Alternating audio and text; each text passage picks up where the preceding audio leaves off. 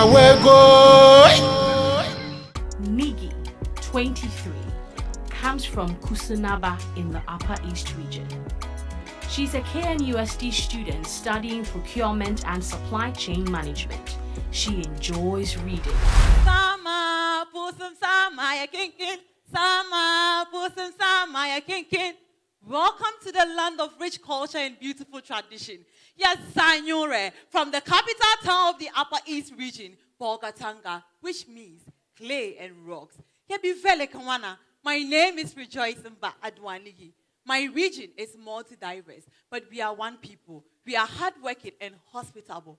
We are made up of different tribes. The Kasna Nankana, Greenies, Talisi Nabdans, Kusatis, among others. We celebrate Fio and Saman Pit Festival. Our unique landscape of the Tongo Hills, our friendly crocodile pond, the Sirigu Pottery Arts, where beautifully handmade baskets, sandals, and smocks are made. Am I not looking beautiful? Yes, I am. Let me amaze you with the tallest mountain in my region called Aposarica, which is a female mountain that means protection and compassion. Do you know that this mountain is the main source of the Vea Dam? Yes, it is.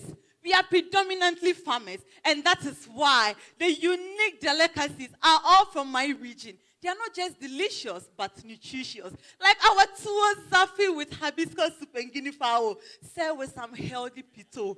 My beautiful judges, when you come to my region, I would personally prepare this meal for you. Fia konya for sap, ne for bezin, ka supa